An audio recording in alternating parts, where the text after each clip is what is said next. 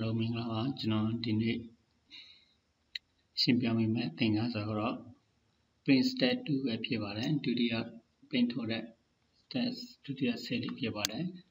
အဲ့ဒီထုတ်မှကျွန်တော် plain table set area မှာ insert header and footer ရဲ့ header and footer margin line ရဲ့ row to repeat at table header ရဲ့ print page number rate set plain area ဆိုတဲ့အချက်၅ချက်နဲ့ကျွန်တော်ရှင်းပြပေးမှာဖြစ်ပါတယ်ကျွန်တော်ပထမဆုံးရှင်းပြပေးမှာက insert header and footer ပဲဖြစ်ပါတယ်ကျွန်တော်ပထမဆုံးဒီ file လေးကိုဒီ file လေးကိုကျွန်တော် paint ထုတ်ပေးရမှာဖြစ်ပါတယ်ဒီ file လေးကိုကျွန်တော် paint ထုတ်မှာဖြစ်ပါတယ်ဒါဆိုကျွန်တော် file ကနေပြီးတော့ plain ဆိုရနေလဲပါပြီ နေနေလိုက်ပြီးတော့ကျွန်တော်ဒီမှာအောက်မှာ page set အကုန်နေလဲပါပြီဒီ header ကိုထားနေလဲမှာဖြစ်ပါတယ်နောက်ပြီးတော့ constant header ဆိုတော့ကျွန်တော်ထားနေနေမှာဖြစ်ပါတယ်နောက်ပြီးတော့ကျွန်တော်ဒီမှာပထမဆုံး let section မှာကျွန်တော်က insert file လေးကိုထည့်လိုက်မှာဖြစ်ပါတယ် insert file လေးကဒီကျွန်တော်ဖိတ်ထားတဲ့ Microsoft Office Excel Basic ဆိုတဲ့ခေါင်းစဉ်ကို auto ပေါ်ပြပေးဖို့လည်းဖြစ်ပါတယ်ဒုတိယအချက်ကတော့ကျွန်တော် date ဆိုတာဟာ insert date ထဲမှာဖြစ်ပါတယ်ဒီ date ကတော့ကျွန်တော် print ဒီယနေ့ထုတ်မယ်ဆိုရင်ယနေ့ရက်စွဲနဲ့ auto ပေါ်မှာဖြစ်ပါတယ်မနေ့ပြန်ထုတ်မယ်ဆိုမနေ့ပြန်ပြီး print ထုတ်တဲ့နေ့ရက်တဲ့ရောက်တိုင်းမှာ auto ပေါ်ပြပေးတယ်ပဲပြပြဖို့ပေါ်ပြပေးဖို့အတွက်ဖြစ်ပါတယ်အဲ့ဒီ date ကတော့ဒီ system date မှာမိခိုမိမိခိုပြီးတော့အလုပ်လုပ်တာဖြစ်ပါတယ်ဒါကြောင့်မိမိကဒီ system လေးကိုမမအောင်တော့တတိထားပြီးတော့ပြုလုပ်ပေးရမှာဖြစ်ပါတယ် ဒါဆိုကျွန်တော်ဒီ day ဆိုတဲ့ဟာကိုမိမိစာရွက် plater နဲ့ထုတ်တဲ့ plain day လေးကိုကျွန်တော်တို့ကစာရေးပေးရမှာဖြစ်ပါတယ် p r i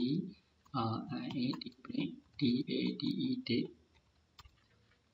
print date နောက်ပြီးတော့ကျွန်တော်ကဒီမိမိ print ထုတ်မဲ့စာရွက်ရဲ့အရေးအတွက်ကိုထုတ်ရမှာဖြစ်ပါတယ်ဥပမာ1 of 2 2 of 2အဲဒီ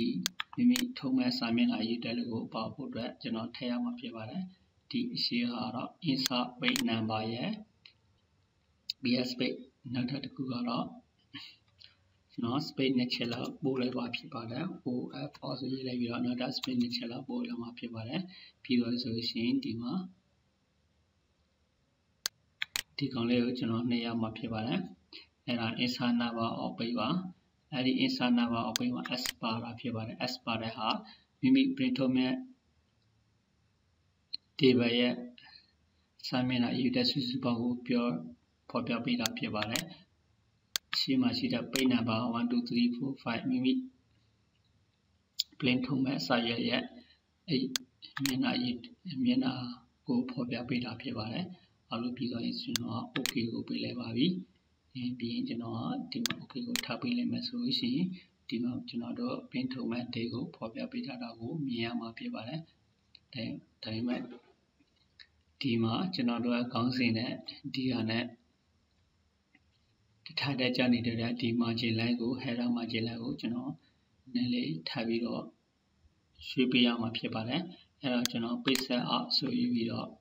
margin ကိုယူလိုက်ရမှာဖြစ်ပါတယ်အဲ့ဒီတော့မှဒီမှာ top 0.5နဲ့ header 0.5ပေးထားတဲ့အတွက်ဒီနေရာမှာ header နဲ့မိမိရဲ့ table မှာရှိတဲ့စာလုံးနဲ့တထားတဲ့ဖြစ်နေတာဖြစ်ပါတယ်အဲ့ဒါကြောင့်ကျွန်တော် dot ထက်ပို့ပြီးတော့ header ကိုနာဘာတာဟိုနဲ့ယူရမှာဖြစ်ပါတယ်ကျွန်တော် header တန်ဖိုး0.3လို့ပေးလိုက်ပါတယ် okay ကိုထားပေးလိုက်ပြီဖြစ်ပါတယ်ဒါဆိုလို့ရှိရင်မိမိပေးထားတဲ့ header နဲ့ table area နဲ့ ဒီချာဖြစ်သွားတော့ကိုဖော်ပြပေးထားမြင်ရမှာဖြစ်ပါတယ်ဒါဆိုရင်ကျွန်တော်တို့က print ထုတ် header ကိုပထမဆိုရင်ကျွန်တော် print ထုတ်ပြမှာဖြစ်ပါတယ်ကျွန်တော်ကဒီမိမိကျွန်တော် printer နဲ့မထုတ်တော့ပါဘူး PDF နဲ့ဖောက်တဲ့နည်းပဲကျွန်တော်ပြောအောင်ဖြစ်ပါတယ်ကျွန်တော် PDF file ဖြစ်ပြင်ပြီးရော print ထုတ်ရမှာဖြစ်ပါတယ် DOPDF ဆိုတဲ့ PDF file ဖြစ် format ပြောင်းမယ် read PDF file ကိုကျွန်တော်ရွေးလိုက်မှာဖြစ်ပါတယ် ပြီးရင် printer property ရေးပြီးတော့ဒီကျွန်တော် page set မှာ A4 set ရေးတဲ့ဒီ DOPDS program ထဲမှာလည်းကျွန်တော် A4 set ရေးရမှာဖြစ်ပါတယ်ပြီးတော့ဆိုရင်ကျွန်တော် OK ပေးမှာဖြစ်ပါတယ်ပြီး plain ပေးလိုက်မှာဖြစ်ပါတယ်နောက်ပြီးတော့ကျွန်တော်ထုံးမဲ့ PDF file format သိမ်းမဲ့ကွန်ပျူတာထဲမှာနေရာကို location နေရာကျွန်တော်ရွေးချယ်မှာဖြစ်ပါတယ်အဲဒီမှာကျွန်တော်ကလုပ်ခဲ့ date ဒီကိုရေးလိုက်မှဖြစ်ပါတယ်အဲ့ဒါပြီးကျွန်တော် folder တစ်ခုတည်းဝင်သိမ်းရမှာဖြစ်ပါတယ်ဒီ ဒီဒီထဲမှာကျွန်တော်သိလိုက်မှဖြစ်ပါတယ်ပြီးရင်ကျွန်တော် file name ကိုပေးရမှာဖြစ်ပါတယ်အဲ့ဒီ file name မှာကျွန်တော် h e a d header header ဆိုတဲ့ file လေးကိုကျွန်တော် header 1ဆိုတဲ့ file လေးကိုပေးလိုက်ပြီးဖြစ်ပါတယ်ကျွန်တော် save ကိုနှိပ်လိုက်ပြီးပြီးရင် OK ကိုပေးလိုက်မှဖြစ်ပါတယ်ဒါဆိုလို့ရှိရင်အခု PDF file ဖြစ်ပြောင်းသွားတာကိုမြင်ရမှာဖြစ်ပါတယ် PDF file ဒီမှာကျွန်တော်တို့ထုတ်လိုက်တဲ့ sum ကျွန်တော်ရဲ့ ကျွန်တော် file ရဲ့ name ပါဖြစ်ပါတယ်ဒီမှာဒီကွန်ပျူတာရဲ့ system တွေပဲဖြစ်ပါတယ်ဒီကွန်ပျူတာမှာရှိတဲ့ system တွေပဲဖြစ်ပါတယ်ဒီကောင်က page number page number လေးပဲဖြစ်ပါတယ်ဒီဒီပထမစာမျက်နှာ1 or 2ဒုတိယစာမျက်နှာက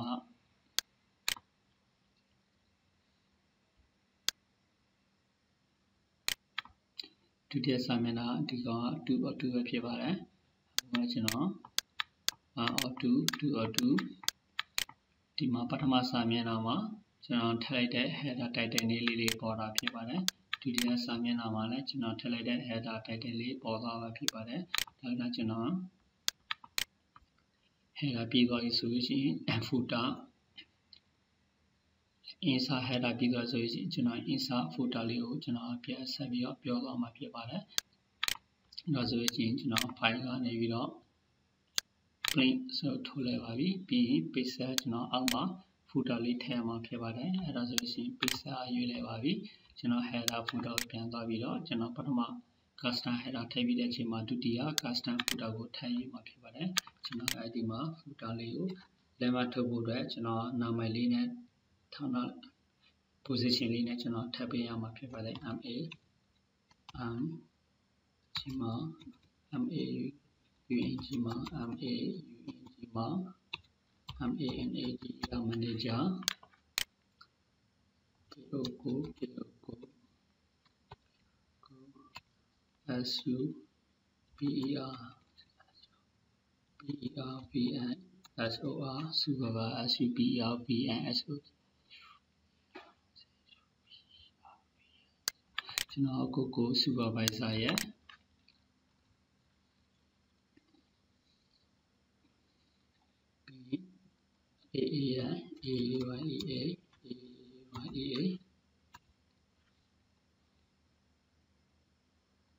က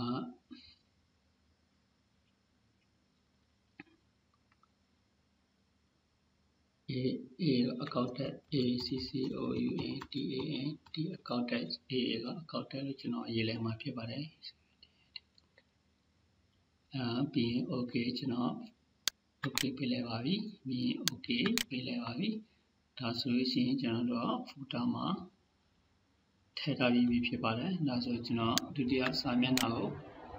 1 or 2 2 or 2ဒီမှာ AA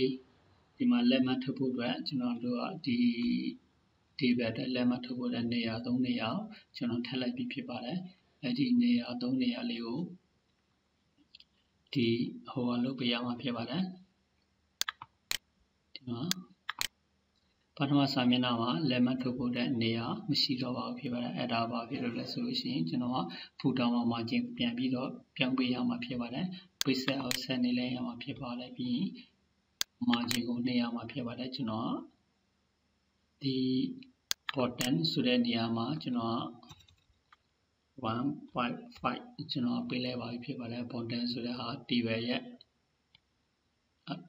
button လေးပဲဖြစ်ပါတယ်ပြီးရင် okay ဆိုကျွန်တော်ပေးပြီးတော့ဒီမှာလက်မှတ်ထုတ်ဖို့အတွက်နေရာရောက်သွားပြီဖြစ်ပါတယ်ဒါဆိုရင်ကျွန်တော် plain ဆိုတာဟာ printer property ယူပြီးတော့ a4 ရေးရမှာဖြစ်ပါတယ်ပြီးတော့ okay ပေးပြီးတော့ကျွန်တော် plain ဆိုတဲ့ထိုးလိုက်ပါပြီဖြစ်ပါတယ်ပြီး browser ကိုရေးပြီးတော့ကျွန်တော်ရဲ့လုပ်ခဲ့တဲ့ဒီထဲမှာ screen video recording မှာ header footer f o o t e r footer လို့ပြီးပြီးတော့ကျွန်တော် save လိုက်ပြီးကွန်ပျူတာမှာ save လိုက်ပြီးတော့ okay pdf file ဖြစ် format ပြောင်းလဲပါပြီဖြစ်ပါတယ်ကျွန်တော်ပထမဒီမှာ header ပေါ်နေသလိုမျိုး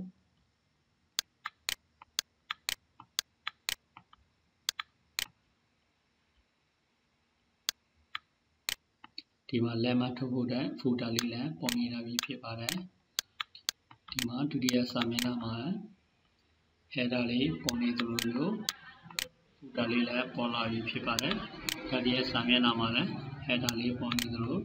folder လေးလည်းပေါ်လာပြီဖြစ်ပါတယ်ဒါပေမဲ့ကျွန်တော်တို့က folder လေးကိုဒီနေရာမှာ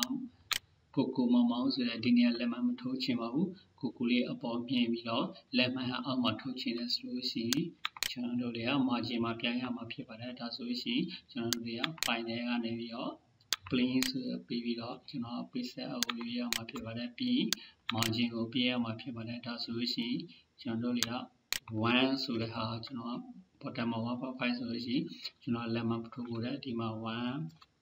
1.5 3လောက်ကိုကျွန်တော်ထပ်လိုက်မှဖြစ်ပါတယ်ပြီးတော့ဆိုရင် okay ဆိုပေးလိုက်ပြီဖြစ်ပါတယ်ဒါဆိုရင်နည်းနည်းလေးများပါတာဖြစ်ပါတယ်ဒါဆိုကျွန်တော် preset အမှာ margin မှာ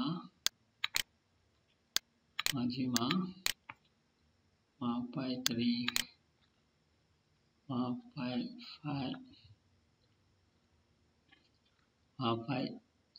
1.6 1.6တော့ကျွန်တော်ပေးလိုက်မှဖြစ်ပါတယ် okay ဟောမရသေးပါဘူး sorry နော်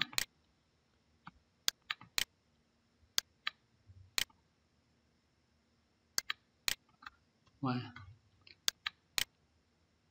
okay ကျွန်တော်1လောက်ပေးလိုက်ပြီဆိုလို့ရှိရင်ဒီကောင်လေးကကျွန်တော်အောက်မှာ lemon ထုတ်ဖို့အတွက်နေရာရသွားပြီဖြစ်ပါတယ် page 1 page 2 page 2မှာလည်း lemon ထုတ်ဖို့အတွက်ရပါပြီ page 3မှာလည်း lemon ထုတ်ဖို့အတွက်နေရာရသွားပြီဖြစ်ပါတယ်ဒါဆိုကျွန်တော်တို့က1.3 page တော့ကျွန်တော်မကြက်ဘူးနည်းနည်းအကက်ရလို့ချင်ကြတယ်ဆိုလို့ရှိရင်1.1 1.1 1.1ကျွန်တော်မကြိုက်သေးဘူး1.2 okay ပါပြီဒါဆိုလို့ရှိရင်ကျွန်တော်တို့က lemon တစ်ခုအတွက် header footer လေးကိုဒီမှာနောက်ပြချသွားပြီဖြစ်ပါတယ်1.1လောက်ဆိုလို့ရှိရင်ပို့ဆင်ပြေမလို့ထင်ပါတယ်ကျွန်တော်1.1 okay 1.1 1.2 1.3 okay ဒါဆိုရင်ကျွန်တော် print ထုတ်လိုက်ပြီဖြစ်ပါတယ်။လို့ဆိုတော့ရေးပြီးတော့ကျွန်တော်တို့ f located d ထဲမှာကျွန်တော် location တွေကို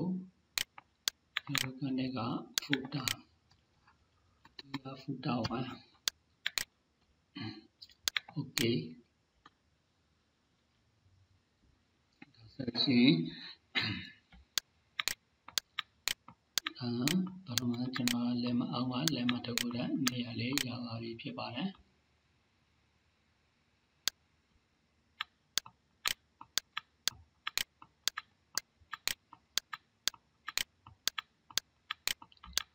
နောက်တစ်ခုကဒီကျွန်တော်ပိတ်ထုတ်လိုက်ပြီမဲ့လည်းစာမျက်နှာပထမစာမျက်နှာမှာပထမစာမျက်နှာမှာဒီ title လေးတွေပေါ်ပြီးတော့ဒီပထမစာမျက်နှာဒီ title တက်တယ်လေးတွေပေါ်ပြီးတော့ဒီဘက်ရဲ့ head တိုက်တယ်လေးပေါ်ပြီးတော့ဒုတိယစာမျက်နှာမှာတိုက်တယ်လေးပြစ်မပါလာတာကိုမြင်ရမှာဖြစ်ပါတယ်တတိယစာမျက်နှာမှာလည်းဒုတိယစာမျက်နှာနေတူတဲ့ထိုနည်းတိုင်းမပါလာတော့ကိုမြင်ရတာဖြစ်ပါတယ်အဲ့ဒါဆိုရင်စာမျက်နှာမတိုင်းမှာတော့စာမျက်နှာစာမျက်နှာချိုက်စာမျက်နှာတွေအကုန်လုံးမှာပထမစာမျက်နှာလိုမျိုးပေါက်ဖို့ရည်ကြီးတာဖြစ်ပါတယ်အဲ့ဒါကြောင့်ကျွန်တော်ကစာမျက်နှာမှာ ဒီပထမစာမျက်နှာမှာလို့ရှိတဲ့ကျန်တဲ့စာမျက်နှာလေးမှာအဲ့ဒီတက်တဲ့နေလေးတွေကိုထည့်ဖို့အတွက်ကျွန်တော်ထပ်လို့ရမှာဖြစ်ပါတယ်အဲ့ဒါဆိုလို့ရှိရင်ဒီ row to repeat at dot table header ဆိုတဲ့ row to repeat at dot လေးကိုကျွန်တော်ထည့်ရမှာဖြစ်ပါတယ်အဲ့ဒါလေးကိုကျွန်တော်ဘယ်လိုထည့်ရမလဲဆိုလို့ရှိရင်ဒီ file ထဲကနေပြီးတော့ plain အဲ့ဒီ pixel အား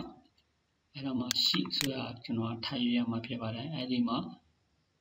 row to repeat at dot ဆိုတာဒီနေရာလေးကိုနှိပ်လို့မရဘူး။ဘာဖြစ်လို့ဆိုတော့ဒါလေးကမှင်နေတဲ့အဲ့ဒီနေရာနှိပ်လို့မရပါဘူး။အဲ့ဒါကြောင့်ကျွန်တော်ကဒီ file ထဲက plain ထဲက pixel အနေပြီးတော့ယူလို့မရတော့ပါဘူး။အဲ့ဒါဘယ်ကနေယူရမလဲဆိုလို့ရှိရင် quick layout ထဲကဒီ pixel ဆိုတဲ့ဒီတောင်းမှာမြားကောင်းလေးကိုနှိပ်ချက်ရမှာဖြစ်ပါတယ်။ အဲ့ဒီမှာကျွန်တော်က sheet ဆိုတာရွေးပြီးတော့ဒီမှာ row to repeat at top ဆိုတဲ့ဒီနေရာလေးကို mouse click လိုက်ရမှာဖြစ်ပါတယ် row to repeat at top ဆိုတော့ mouse click လိုက်ပြီးတော့ဒီမှာ row to row to repeat at top ဆိုတော့ mouse click ပြီးတော့ကျွန်တော်ပါချင်တဲ့ row number 1ရယ်2ရယ်ဆိုတဲ့ဟာ mouse လေးနဲ့ဖိပြီးတော့ဆွဲပြီးဖိဆွဲပြီးတော့လှော်လိုက်ရမှာဖြစ်ပါတယ်ဒါဆို1 2 2ဆိုတော့ row 1နဲ့ row 1 2 row 2 t ကိုကျွန်တော် mouse လေးနဲ့ဖိပြီးဆွဲလိုက်တာဖြစ်ပါတယ်အဲ့ဒါဆိုလို့ရှိရင်ပြီး okay ကိုပေးလိုက်မှာဖြစ်ပါတယ်ဒါဆိုရင် file ထဲကနေပြီးတော့ blink အဲ့ဒီလိုက်ပထမစာမျက်နှာမှာပါလာပါလာတာကိုတွေ့ရမှာဖြစ်ပါတယ်ဒုတိယစာမျက်နှာကိုဆက်နေရမှာဖြစ်ပါတယ်ဒုတိယစာမျက်နှာမှာအ တက်တေးလေးတွေပေါ်လာတော့မြင်ရမှာပါတတိယနဲ့ဆက်နေရမှာဖြစ်ပါတယ်တတိယစာမျက်နှာမှာလည်းဒီမျိုးပေါ်လာတော့ကိုမြင်ရမှာဖြစ်ပါတယ်ဒါဆိုရင်ကျွန်တော်တို့က printer property ကြည့်ပြီးတော့ input set ယူရမှာဖြစ်ပါတယ်ဘာဖြစ်လို့ input set လဲဆိုလို့ရှိရင်မိမိ plate ထုံးမဲ့စာမျက်နှာ table area input နဲ့ pixel ကိုတတ်မှတ်ထားတာကြောင့်ဖြစ်ပါတယ်အဲဒါကြောင့် printer မှာ A4 ဆက်ကိုရေးပေးရတာဖြစ်ပါတယ်။နောက်ပြီး print ကိုနှိပ်ရမှာဖြစ်ပါတယ်။ plus ကိုနှိပ်ပြီးတော့ကျွန်တော်က PDF file ဖြစ်ဒီတဲ့အတွက်ကွန်ပျူတာရဲ့ ကျွန်တော်ကွန်ပျူတာမှာရှိတဲ့ location တနေရာမှာဝင်သိဝင်သိရမှာဖြစ်ပါတယ်။ဒီလိုခင်းရအဲ့ဒါကျွန်တော်က ROW to I REPAWP at at dot တော့ဆိုတာရွေးပြီးတော့ okay ကိုပေးလိုက်ပြီ okay ကိုပေးလိုက်ပါပြီဒါဆိုရှင်ပထမစာမျက်နှာမှာဒီ တိုက်တယ်လေးတွေပါလာသလို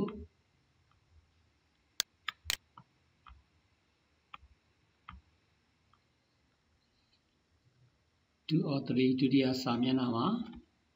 row to appear တော့ဆိုတဲ့ title လေးလည်းပါလာပြီဖြစ်ပါတယ်အဲဆိုတတိယစာမျက်နှာမှာရိုးတူရဲ့စာမျက်နှာချက်ရေးတိုင်းမှာ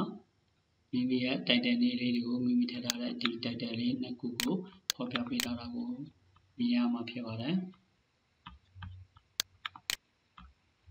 အဲနောက်တစ်ခုကတော့ကျွန်တော်ဒီ table လေးကို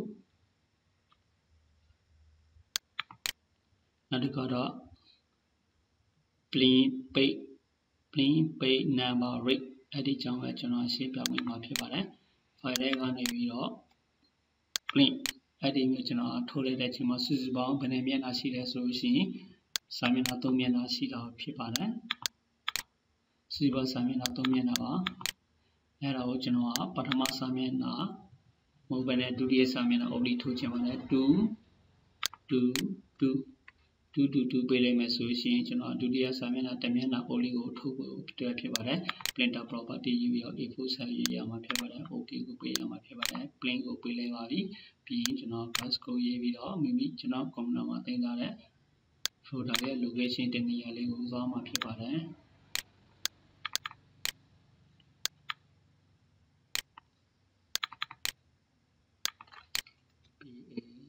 PAG pay rate P6 okay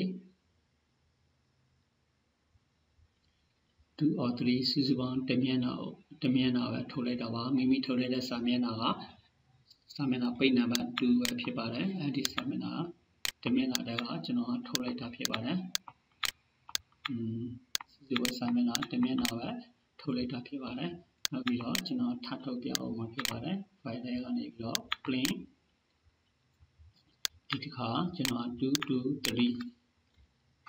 2 to 3ဆိုစာမျက်နှာ2 3ဆိုတဲ့မျက်နှာကိုကျွန်တော် print ထုတ်မှာဖြစ်ပါတယ် plain plus ကိုရေးပြီးတော့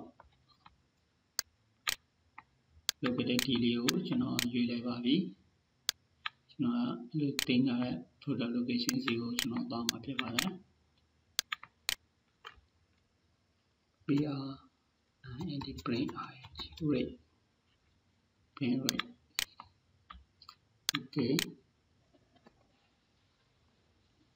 ဒါဆိုလို့ရှိရင်ကျွန်တော်အခု plain ထုတ်လိုက်တာစာမျက်နှာ2မျက်နှာပဲဖြစ်ပါတယ်ရှိတဲ့ဟာစုစုပေါင်းစာမျက်နှာ3မျက်နှာဖြစ်ပါတယ်အဲ့ဒီ3မျက်နှာထဲမှာကျွန်တော်က2နဲ့3ကိုထုတ်လိုက်တာဖြစ်ပါတယ်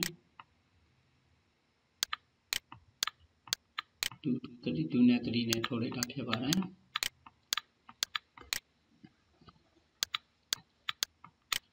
နောက်တော့ကျွန်တော်စာမျက်နှာကိုရှင်းပြချင်တာကတော့နောက်ဆိုခုကျွန်တော်ရှင်းပြတာကတော့ set plane area ပဲဖြစ်ပါတယ်အဲဆိုလို့ရှိရင်ဒီကျွန်တော်ဒီရှိသမျှအခု table area အကုန်လုံးထဲမှာကျွန်တော်ထုတ်ချင်တဲ့ area အရေးကိုကျွန်တော်ပင်းထုတ်ရမှာဖြစ်ပါတယ်အဲဒါဆိုလို့ရှိရင်ကျွန်တော်တို့က view ထဲမှာ page break preview ဆိုတာနေလဲမှာဖြစ်ပါတယ် page break preview ကိုနေလဲတဲ့ချိန်မှာကျွန်တော်တို့ကစုစုပေါင်းစာမျက်နှာ1 2 3ဆိုတဲ့စာမျက်နှာ3 2 1ဆိုစုပါစာမျက်နှာ3မျက်နှာရှိတော့ပါတယ်အဲ့ဒီမှာကျွန်တော်တို့ကစာမျက်နှာ2ဆိုတဲ့အဲ့ဒီ area OD ပဲကျွန်တော်ထုတ်ချင်တာဖြစ်ပါတယ်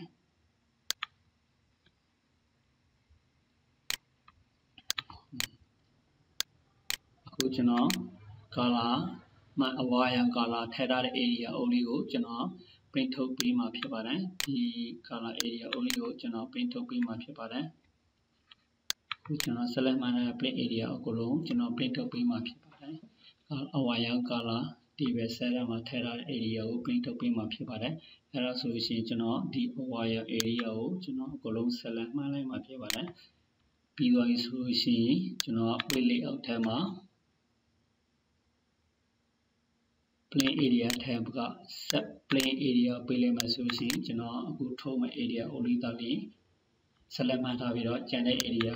အညိုရောင်မိခုံးရောက် area ဖြစ်နေတာဖြစ်ပါတယ်အဲ့ဒီ area လေးက plane မထုတ်တဲ့ area လေးပါဖြစ်ပါတယ်ဒါဆိုရင်ကျွန်တော် select မှတ်တဲ့ plane area ထုတ်ပါပြီ file က plane in printer ဒီမှာစီဝါဆာမျက်နှာတမျက်နှာတည်းပဲဖြစ်ပါတယ် printer property ရေးမယ် A4 ရေးပါမယ်ပြီးသွားဆိုရှင် OK ပေးပါမယ် print ကိုနှိပ်ပါမယ်ပြီးကျွန်တော် ဘုံနံမှာတင်ထားတဲ့ location စီကိုသွားပါဖြစ်ပါတယ်ဒီတဲ့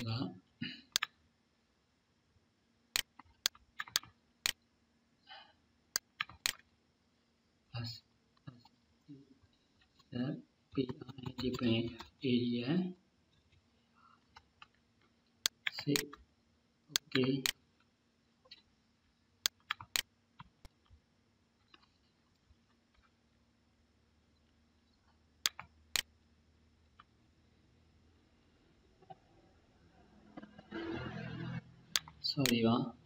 ဒီမှာကျွန်တော်က all ကိုနေပါဖြစ်ပါတယ် plane 1 2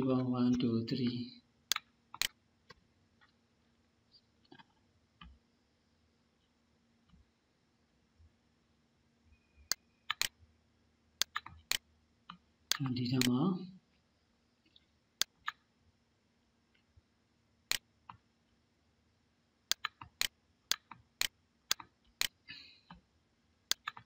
အဲဆိုရှင်ဒီမှာကျွန်တော် plane edit season ကျွန်တော်ရေးလိုက်ပါပြီအဲဒါဆိုရှင် plane tag က printer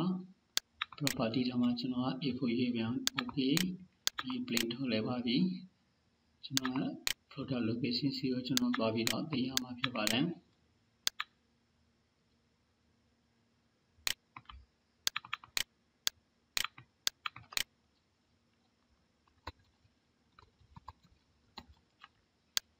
okay okay ဒါဆိုလို့ရှိရင်ကျွန်တော်ထုတ်ကိုရွေးချယ်ထားတဲ့ area ori ကို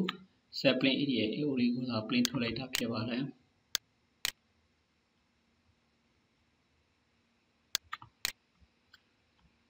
အဲ့တော့ပြီးပါပြီဆိုလို့ရှိရင်ကျွန်တော်ကငကို area ကိုပြန်ထားခြင်းလဲဆိုလို့ရှိရင်ကျွန်တော်ကအကုန်လုံးကျွန်တော်တို့ table area ကိုလို့ဆက်လက်မှတ်ရမှာဖြစ်ပါတယ်။ အလုံးပြီးသွားပြီဆိုလို့ရှိရင် plane area မှာ set plane area ပေးလိုက်မယ်ဆိုလို့ရှိရင်ကျွန်တော်တို့က paint ထမှ original area ကိုပြန်ရောက်သွားတာဖြစ်ပါတယ်ကျွန်တော်တို့ view ကနေရ